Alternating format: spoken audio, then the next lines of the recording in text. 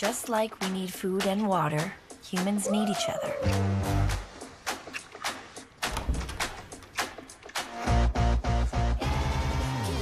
Do I know you? No. Is that a deal breaker? Really, Meredith? This is kind of a lot. Don't you think? Stop judging me. I really can't. I can't.